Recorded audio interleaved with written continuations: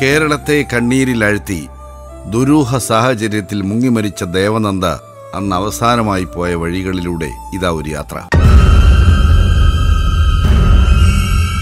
ഒറ്റയ്ക്കൊരു പിഞ്ചു കുഞ്ഞിന് നടക്കാനാകാത്തിടത്ത് അവളെ കൊണ്ടെത്തിച്ചത് അദൃശ്യശക്തിയോ അജ്ഞാതനായ കൊലയാളിയോ. ഒരു നൂറ് കഥകൾക്കും ഊഹാപോഹങ്ങൾക്കുമിടയിൽ എവിടെയാണ് സത്യം ഒളിഞ്ഞിരിക്കുന്നത്?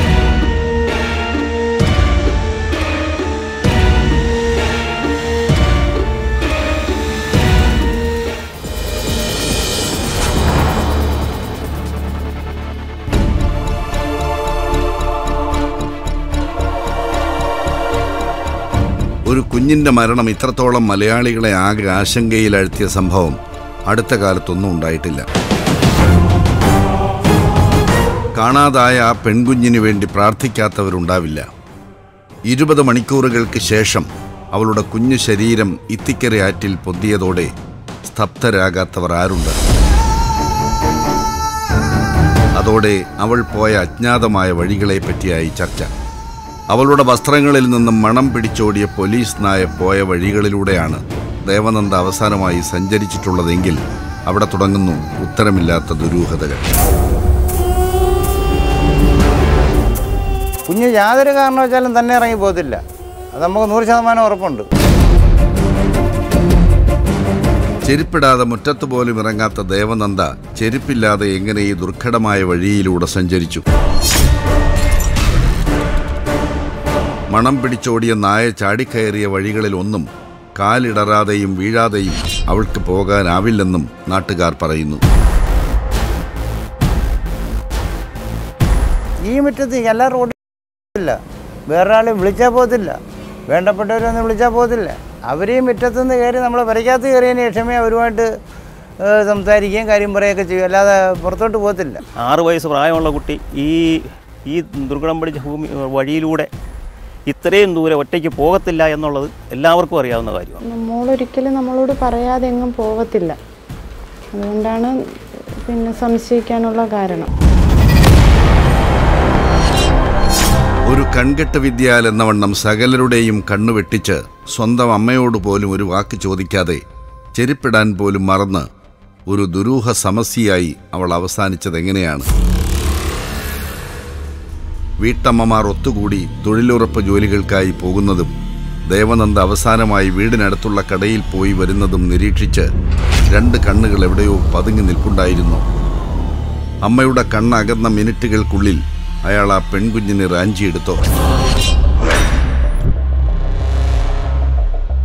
ആൾക്കാർ പറയുന്നത് കേട്ടു. ഒരു പർട്ടിക്കുലർ പേഴ്സൺ ഒരു വ്യക്തി അന്നേ ദിവസം ആ ഭാഗത്തോട്ട് പോയ ആൾക്കാരോട് അവിടെയെല്ലാം നോക്കി അവിടെ ഒന്നും കാണാൻ സാധ്യതയില്ല. അവിടെ നോക്കിയ സ്ഥലമാണ് എന്ന് പറഞ്ഞതായിട്ട് ഒരു വ്യക്തി അങ്ങനെ പറഞ്ഞതായിട്ട് ഇങ്ങനെ ഇവിടെ പല ആൾക്കാരും പറയുന്നതായിട്ട് നമ്മുടെ ഇതിന് ശ്രദ്ധയിൽപ്പെട്ടു. ആ ഒരു വ്യക്തി സംബന്ധിച്ച് നാട്ടുകാരെ സംബന്ധിച്ച് നാട്ടുകാരെക്കുറിച്ചോട് നമ്മൾ ചോദിച്ചപ്പോൾ നാട്ടുകാർക്കും അറിയില്ല. ഒരാളിങ്ങനെ പറഞ്ഞു എന്ന് എല്ലാവരും പറയുന്നു. ഈ ഒരു സംശയത്തിലേക്കാണ് ദേവനന്ദയുടെ മാതാപിതാക്കളും മുത്തച്ഛനുമെല്ലാം വിരൽ ചൂണ്ടുന്നത്. അവളുടെ അവസാനത്തെ സഞ്ചാരപഥത്തിലൂടെ പോലീസിന് പിന്നാലെ പലരും സഞ്ചരിച്ചു. ഇത്രയും ദുർഘടയിലൂടെ കുഞ്ഞ് നടന്നു ആരും പ്രതീക്ഷിക്കുന്നില്ല. അഥവാ അങ്ങനെ നടന്നു പോയിട്ടുണ്ടെങ്കിൽ തീർച്ചയായും അത് പെടുകയും കഴിയുമ്പോൾ അത് നിർവചനം നമുക്ക് തരാനും കഴിയും. അപ്പോൾ അങ്ങനെ ഒരു ഇതാരും പ്രതീക്ഷിക്കുന്നില്ല. തൊട്ട് അടുത്ത ഭാഗങ്ങളിലെ കുട്ടിയെ ലിഫ്റ്റ് ചെയ്തുകൊണ്ട് തന്നെ ആയിരിക്കാം പോയിട്ടുള്ളത്. അപ്പോൾ ലിഫ്റ്റ് ചെയ്തുകൊണ്ട് പോകുമ്പോൾ തന്നെയും മറ്റ് ഒരുപാട് കാൽപാദങ്ങൾ അവിടെ പതിഞ്ഞു കഴിഞ്ഞു. അതുകൊണ്ട് തന്നെയാണ് മറ്റേ ഇതിനൊരു പർട്ടിക്കുലർ ഒരു വ്യക്തിയുടെ കാൽപാദം തിരിച്ചറിയാൻ പറ്റാതെ വരുന്നത്. കാണാതാകുന്നതിന് മിനിറ്റുകൾക്ക് മുമ്പ് അയൽക്കാരിയും തൊട്ടടുത്തുള്ള കടക്കാരിയും ദേവനന്ദയെ കണ്ടിരുന്നു. അപ്പോഴൊന്നും അസാധാരണമായി ഒന്നും കണ്ടില്ല. ഏറ്റവും ഒടുവിൽ അമ്മയാണ് അവളെ കണ്ടത്. ഷോൾ ദേഹത്തണിഞ്ഞ് അമ്മ വസ്ത്രങ്ങൾ കഴുകുന്ന അലക്കുകല്ലിനടുത്തേക്ക് അവൾ വന്നു. അപ്പോൾ കാലിൽ ചെരുപ്പുണ്ടായിരുന്നു. ധന്യ തുണി കഴുകാൻ പോയി. അവിടെ ഒന്ന് രണ്ട് വട്ടം ഷാൾ കൊടുത്തുകൊണ്ട് മുറ്റത്ത് നിന്ന് ഡാൻസ് കളിക്കുന്ന രംഗമൊക്കെ മേലെ കണ്ട് ഒമ്പതേ മുക്കാൽ വരെ കണ്ടവരെ കൊണ്ട്. എന്ന് പറഞ്ഞാൽ ആ കുട്ടിയെ കുളിപ്പിക്കാൻ വന്നിട്ട് ആ കുട്ടിയെ കുളിപ്പിക്കാൻ വന്ന തള്ള എന്റെ മേലെ വീട്ടിലോട്ട് കയറിയിട്ട് അവിടെ നിന്ന് വന്നിട്ടുണ്ട്. പറയാൻ മനസ്സിലായി? ഒമ്പതേ മുക്കാൽ വരെ കുട്ടി മുറ്റത്ത് ഉണ്ടെന്നാണ്. കുഞ്ഞിനെ നോക്കാൻ പറഞ്ഞ അമ്മ അവളെ അകത്തേക്ക് പറഞ്ഞു വിട്ടു. അവൾ വീട്ടിനുള്ളിലേക്ക് കയറിയോ? അഥവാ കയറിയെങ്കിൽ വീണ്ടും എന്തിന് പുറത്തിറങ്ങി? അഞ്ചു മിനിറ്റിന് ശേഷം അമ്മ മകളെ വിളിച്ചപ്പോൾ വിളി കേട്ടില്ല. വീണ്ടും വീണ്ടും വിളിക്കുകയും പരിസരത്ത് തിരയുകയും ചെയ്തു. അകത്തിരുന്ന കുട്ടി തുണി കഴുകിക്കൊണ്ടിരുന്നപ്പോൾ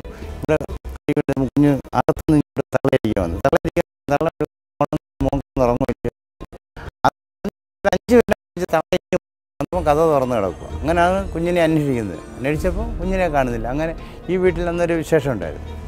അപ്പോൾ അവിടെ ചോദിച്ചു കുഞ്ഞങ്ങോട്ട് വന്നു? ചോദിച്ചാൽ വന്നില്ലെന്ന് പറഞ്ഞു. ഈ വീടിന്റെ പിൻഭാഗത്തൂടെയാണ് പട്ടി യഥാർത്ഥത്തിൽ പോയിരിക്കുന്നത്. യഥാർത്ഥത്തിൽ ഈ അമ്മ പറഞ്ഞിരുന്ന ഒരു കാര്യം ആദ്യമേ വളരെ ശ്രദ്ധിക്കുന്നു. കുട്ടിയുടെ അമ്മ പറഞ്ഞത് എന്താണ്? സ്വാഭാവികമായിട്ടും നമ്മുടെ എല്ലാ വീടുകളിലും ഞങ്ങളെ എല്ലാം കുട്ടിപ്രായത്തിൽ അമ്മമാർ കിണറ്റിൻകരയിൽ തുണി അലക്കാൻ പോകുമ്പോൾ മൂത്ത കുട്ടിയെ ഇളയ കുട്ടിയെ സൂക്ഷിക്കാൻ ഏൽപ്പിച്ചിട്ട് പോവുകയാണ് പതിവ്. അങ്ങനെ പോകുമ്പോൾ തന്നെ ഒരു നിമിഷം മൂത്ത കുട്ടിയുടെ ഇളയ കുട്ടിയുടെ ശബ്ദം കേട്ടില്ലെങ്കിൽ അമ്മ അവിടെ നിന്ന് വിളിക്കും. വിളിച്ചിട്ട് റെസ്പോണ്ടിങ് ഉണ്ടോ ഇല്ലയോ എന്ന് ശ്രദ്ധിക്കും. മോനെ അല്ലെങ്കിൽ മോളെ അല്ലെങ്കിൽ കുഞ്ഞുവാവേ എന്ന് വിളിക്കുമ്പോൾ നമ്മൾ ആ റെസ്പോണ്ടിങ് കിട്ടുമ്പോൾ മനസ്സിലായി അമ്മയ്ക്ക്. അപ്പോൾ അങ്ങനെ സ്വാഭാവികമായിട്ട് എല്ലാ അമ്മമാരും ചെയ്യുന്ന ഒരു പ്രവണതയാണ്. ആ റെസ്പോണ്ടിങ് കുട്ടി മിസ്സായ കാണുന്നില്ല എന്ന് ആ നിമിഷം തന്നെ അമ്മയ്ക്ക് വരികയും അമ്മ തൊട്ട് ഉടൻ തന്നെ അന്വേഷണവുമായിട്ട് നാട്ടുകാരെ എല്ലാം വിളിച്ച് ചേർത്ത് അന്വേഷണം ആരംഭിക്കുകയും ചെയ്തു. അഭിശപ്തമായ ആ നിമിഷത്തിൽ തുടങ്ങിയ ആധിക്ക് ഇതുവരെ പിന്നെ ശമനമില്ല. തൊട്ടടുത്ത വീട്ടിലേക്കായി പിന്നെ അന്വേഷണം. കാണാതായ കുട്ടിയുടെ അമ്മ ചോദിക്കുന്നു. "അണ്ണാ, ഈ കുട്ടി കുട്ടി ഇങ്ങോട്ട് വരുന്ന കണ്ടു എന്ന് ചോദിച്ച് ഞാൻ പറഞ്ഞില്ലെന്ന് പറഞ്ഞു. വഴിയിലിറങ്ങി അന്വേഷിച്ചപ്പോൾ ഒരു ചെറുപ്പക്കാരൻ സഹായിക്കാനെത്തി. പക്ഷേ ദേവനന്ദയെ കണ്ടില്ല. അവളുടെ ചെരുപ്പ് വീട്ടിലുണ്ടായിരുന്നു. ആദ്യ പിടിച്ച നിമിഷങ്ങളായിരുന്നു പിന്നെ. ദേവനന്ദയെ അന്വേഷിച്ച് ഓരോരുത്തരും ഇറങ്ങി. നെഞ്ചിടിപ്പിന്റെ നിമിഷങ്ങൾ.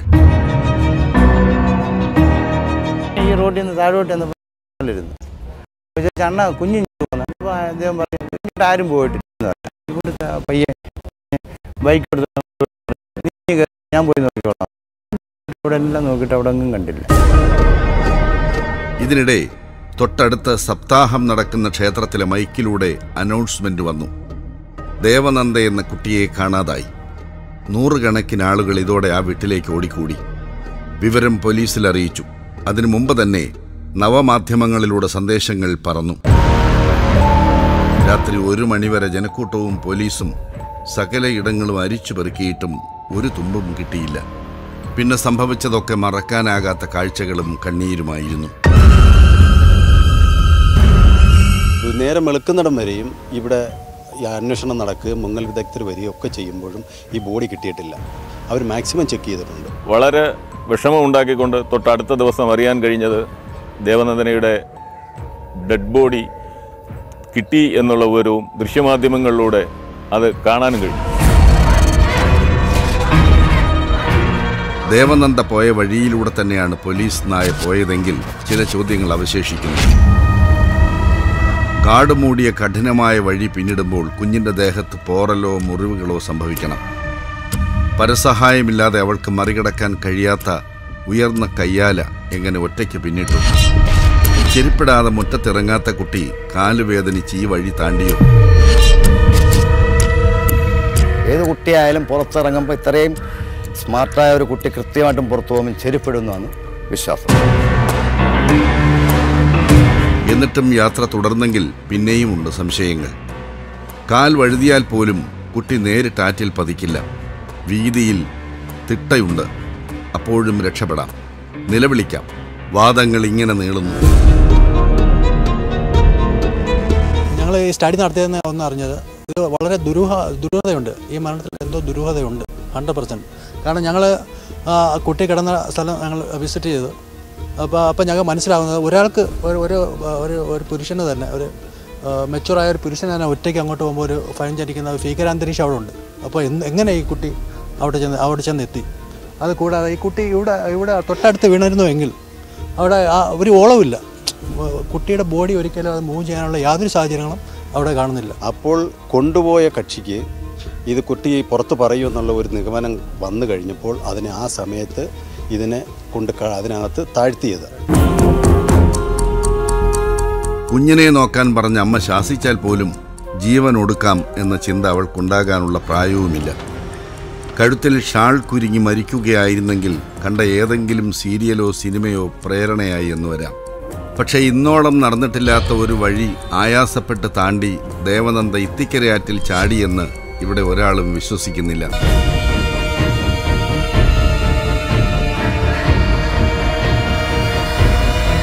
റോഡിൽ പോലും ഇറങ്ങണമെങ്കിൽ നമ്മളുടെ പെർമിഷൻ ചോദിച്ചതിന് മാത്രമേ അവൾ ഇറങ്ങത്തുള്ളൂ. കാരണം ഇത് പെർമിഷൻ ഇല്ലാതെ പോയി അത് ഒരിക്കലും അവൾ അങ്ങോട്ട് പോകത്തില്ല ആ സ്ഥലങ്ങളൊന്നും അവൾ കണ്ടിട്ട് പോലുമില്ല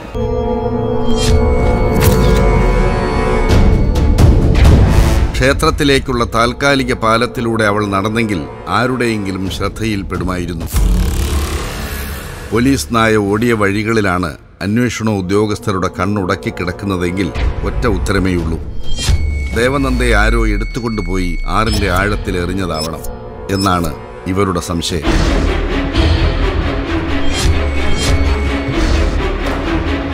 ഈ പ്രായത്തിലുള്ള കുട്ടികൾ ഷാൾ സ്വാഭാവികമായിട്ടും ഉപയോഗിക്കാറില്ല. അപ്പോൾ അമ്മയുടെ ഷാളായാലും ആ ഷായാലും ഇങ്ങനെ ഒരു അവസരത്തിൽ ഈ കുട്ടി ഷാൾ എടുത്തുകൊണ്ട് പോകത്തില്ല. അഥവാ കുട്ടി അങ്ങോട്ട് പോയെങ്കിൽ പോലും ഷാൾ എടുത്തുകൊണ്ട് പോകും മറ്റൊരു കരം തന്നെയായിരിക്കും വീട്ടിൽ നിന്ന് ഈ ഷാൾ എടുത്തത്. ആ ഷാൾ എടുക്കുമ്പോൾ ആ ഷാൾ എടുത്ത ആളിന് ചില ദുരുദ്ദേശങ്ങളുണ്ടാകാം ഒന്നുകിൽ വേണ്ടി വന്നാൽ കുട്ടി നിലവിളിക്കുകയോ അല്ലെങ്കിൽ കരയുകയോ മറ്റെന്തെങ്കിലും ചെയ്താൽ മുഖം മറച്ചു പിടിക്കാനായിട്ട് ഈ ഷാൾ ഉപയോഗിക്കാം. ഷാൾ വെള്ളത്തിൽ പെട്ടുപോയി വെള്ള ജലാംശം മൊത്തത്തിലായി കഴുകിയ കഴിഞ്ഞ ഒരു ഷാളിൽ നിന്ന് നമുക്ക് ഫിംഗർ പ്രിന്റോ മറ്റോ കിട്ടാനുള്ള സാധ്യത കുറവാണ്. അപ്പോൾ അതാണ് വീണ്ടും ഒരു സംശയത്തിൽ എത്തിച്ചേർന്നിരിക്കുന്നത്. ആരോ അതിനെ തങ്ങി തങ്ങി ഇന്നിട്ട് കിട്ടാത്തടത്തൊക്കെ എന്ന് പറഞ്ഞാൽ ചിലപ്പം തട്ടിത്തട്ടി ചിലപ്പം പോയി കാണും. ആ തട്ടിത്തട്ടി പോകുമ്പം കറക്റ്റായിട്ടെന്ന് പറഞ്ഞാൽ പോറിൽ വീഴേണ്ടതാണ് തട്ടിത്തട്ടി പോയെങ്കിൽ എന്റെ ഒരു പൂർണ വിശ്വാസം ആരെങ്കിലും കൊണ്ടുപോയി തള്ളിയിട്ടതായിട്ടൊരു നൂറ് വിശ്വാസം. ദേഹത്ത് നഖക്ഷതങ്ങളോ മുറിവോ ഇല്ലാത്തതിനാൽ ഏറ്റവും വേണ്ടപ്പെട്ട ഒരാൾ സ്നേഹത്തോടെ എടുത്തുകൊണ്ടുപോയി ആ കുഞ്ഞിന്റെ കഥ കഴിച്ചതാകാം എന്നും ചിലർ സംശയിക്കുന്നു.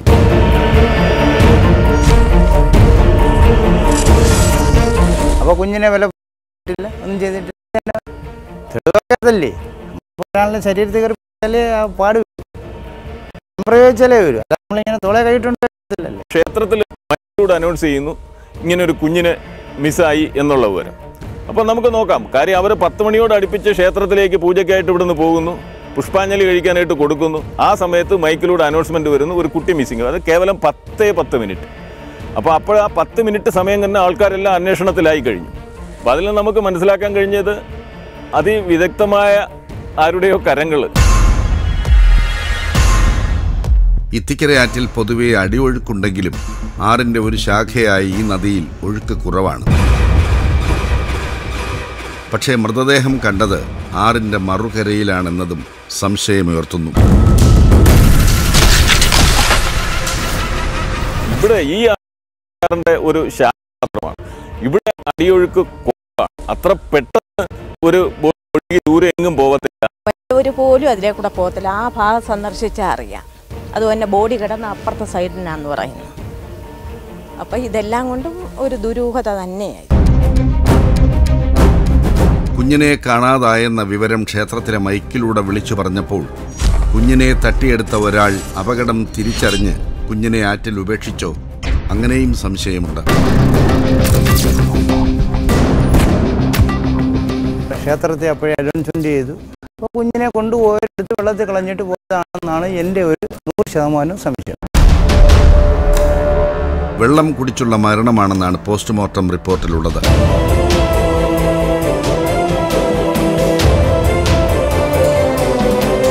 മുങ്ങി പറഞ്ഞ അത് നമ്മൾ ഒന്നും പറഞ്ഞില്ല. അല്ലാന്ന് പറയുന്നത് സംഭവം ശരി. ഇതെങ്ങനെ കുട്ടിയോട് ചെന്ന് അതാണ് നമുക്കറിയേണ്ടത്. ചെരുപ്പില്ലാതെ ദുർഘടപാതയിലൂടെ ദേവനന്ദ ആറ്റുതീരം വരെ നടക്കില്ല എന്ന ബന്ധുക്കളുടെ സംശയത്തിൽ പിടിച്ചുള്ള അന്വേഷണമാണ് പോലീസ് ഇപ്പോൾ നടത്തുന്നത്. പലരെയും പോലീസ് ചോദ്യം ചെയ്യുന്നുണ്ട്. സ്വാഭാവികമായിട്ട് പോലീസിന്റെ ഭാഗത്തുനിന്ന് ഒരു ക്രൈം നടന്നു കഴിഞ്ഞാൽ പരിസരവാസികളെയും സംശയമുള്ളവരെയൊക്കെ ചോദ്യം ചെയ്യും. അത് നാല് പേർ പോലീസ് ചോദ്യം ചെയ്തതായിട്ട് മനസ്സിലാക്കാൻ കഴിഞ്ഞു. അതിൽ ഒരാളെ വീണ്ടും വീണ്ടും വിളിച്ച് സംശയ നിവാരണം നടത്തിയതായിട്ടും അറിയാൻ കഴിഞ്ഞു. ദേവനന്ദ മരിച്ച സ്ഥലത്ത് പത്തു വർഷത്തിനിടെ നിരവധി പേർ മരിച്ചിട്ടുള്ളതായാണ് മുഖ്യമന്ത്രി നിയമസഭയിൽ പറഞ്ഞത്. ഏതോ അജ്ഞാത ശക്തി അവളെ ഇത്തിക്കരയാറ്റിലേക്ക് മോഹിപ്പിച്ചു കൊണ്ടുപോയതാണെന്നായി ഇതിനിടെ ചിലർ. ചുഴികളും മലരികളുമുള്ള ഇത്തിക്കരയാറിന്റെ ഈ കൈവഴിയിലേക്ക് ഏത് അമാനുഷിക ശക്തിയാണ് ആളുകളെ കൂട്ടിക്കൊണ്ടുപോകുന്നത്? അമ്മൂമ്മയായി വേഷം ധരിച്ചു വന്ന ഒരു മായാശക്തി ദേവനന്ദയെ ആറ്റിലേക്ക് വിളിച്ചിറക്കിക്കൊണ്ടുപോയി എന്നൊക്കെ ചിലർ നവമാധ്യമങ്ങളിലൂടെ കഥ പടച്ചുവിടുന്നു. ധന്യ തന്നെ മോളെങ്ങനെ പോയി? അന്നേരം പറഞ്ഞ് മേളി അന്നേരം ഈ കൊച്ച് എപ്പോഴും ആവി ആയതുകൊണ്ട് ഉടുപ്പ് ഊരിയിടുവന്നു. അങ്ങനെ മേലെ വീട്ടിൽ ഉടുപ്പ് ഊരിയിട്ട് അവിടെ നിന്നതാ താഴോട്ട് പോവാന്ന് പറയുകയും ചെയ്തെന്ന്.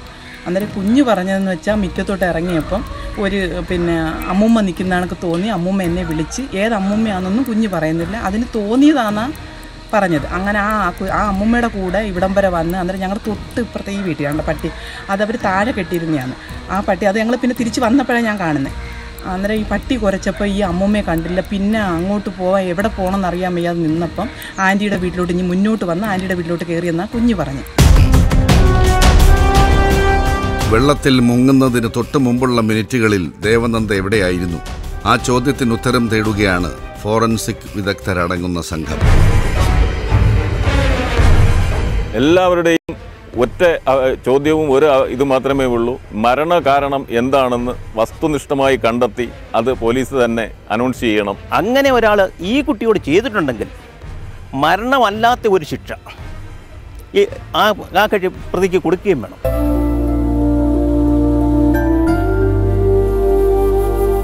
ഇളയ കുഞ്ഞിന്റെ പ്രസവത്തിനായി കുടുംബ വീട്ടിലെത്തിയ അമ്മയ്ക്കൊപ്പം ദേവനന്ദ ഇളവൂരിലെ ഈ വീട്ടിലെത്തിയിട്ട് ആറു മാസമേ ആയിട്ടുള്ളൂ.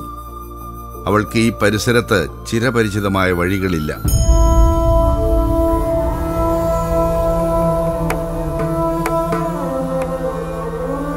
ഇപ്പം നമ്മുടെ നമുക്കതേ ഉള്ളത് സത്യാവസ്ഥ എന്താണെന്ന് അറിയണം അതിന്റെ മോൾ എങ്ങും പോവില്ല. നല്ല ഉറപ്പുണ്ട്. ഇതുപോലൊരു സാഹചര്യം ഇനി ഒരു കുഞ്ഞുങ്ങൾക്ക് ഉണ്ടാവരുത്. അത് നിയമപ്പത്തിന്റെ പുറത്ത് ഞങ്ങളുടെ മുന്നിൽ കൊണ്ടുവരണമെന്നുള്ള ഒരു ആഗ്രഹം ഞങ്ങൾക്ക് എല്ലാ അമ്മമാർക്കും ഉണ്ട്. നമുക്ക് കൂടുതലായിട്ടൊന്നും പറയാനില്ല. ഞങ്ങൾക്ക് കൂടുതൽ ഞങ്ങൾ ഞങ്ങൾക്ക് എത്രയും പെട്ടെന്ന് തന്നെ ഞങ്ങൾക്ക് ഇതിന്റെ സത്യാവസ്ഥ എന്തോന്ന് കണ്ടുപിടിക്കണം. ഞങ്ങൾക്ക് അത്രയും മാത്രമേ പറയാനുള്ളൂ. ഈ കേസ് സി ബി ഐക്കോ ക്രൈംബ്രാഞ്ചിനോ അന്വേഷിക്കണമെന്നാണ് ഞങ്ങൾ സംസ്ഥാന നേതാക്കൾ ആവശ്യപ്പെടുന്നത്. തീർച്ചയായിട്ടും ഈ കുട്ടിയുടെ മരണം ദുരൂഹത തന്നെയാണ്. അല്ല കുട്ടിയെ തന്നെ ഒരിക്കലും ഈ ആറ്റി പോകാൻ സാധ്യതയില്ല. നമ്മൾ ഊർജിതയായിട്ട് നിൽക്കുകയാണെങ്കിൽ പ്രതിയെ പിടിക്കാം. ശരിക്കും അതാണ് നമ്മുടെ ആഗ്രഹം. ഇത് പിടിക്കണം. കാര്യം ഇത് ഇനി ആർക്കും സംഭവിക്കരുത് ഈ ഏരിയയിൽ. പോലീസിനെ പ്രതിക്കൂട്ടിലാക്കാനല്ല സകലരും ഈ തിരോധാനത്തിന്റെ സത്യം തിരയുന്നത്. ഒരു മുങ്ങിമരണത്തിന്റെ യഥാർത്ഥ കാരണം കണ്ടെത്താനായില്ലെങ്കിൽ ഒരു പ്രദേശം മാത്രമല്ല കേരളമാകെ വിട്ടൊഴിയാത്ത ഒരു ഭയത്തിന്റെ തടങ്കലിലായെന്ന് വരും. അത്രമാത്രം ഊഹാപോഹങ്ങളും കൽപ്പിത കഥകളുമാണ് ദേവനന്ദയുടെ മരണവുമായി ബന്ധപ്പെട്ട് പ്രചരിക്കുന്നത്. നമുക്ക് കാത്തിരിക്കാം. സത്യസ്ഥിതി മറനീക്കി പുറത്തുവരുന്ന ദിവസത്തിനായി. കഥകൾക്കപ്പുറം എന്ന പരിപാടിയിൽ ഉൾക്കൊള്ളിക്കണമെന്ന് ആഗ്രഹിക്കുന്ന എന്തെങ്കിലും വിഷയങ്ങൾ നിങ്ങളുടെ നാട്ടിലുണ്ടോ? എങ്കിൽ ഞങ്ങളെ അറിയിക്കുക. ഞങ്ങളുടെ വിലാസം Surya T V first and second floor heavenly plaza civil line road Vazhakkala Kakkanad P O Kochi. Six eight two zero two one email കഥകൾക്കപ്പുറം at sun network dot in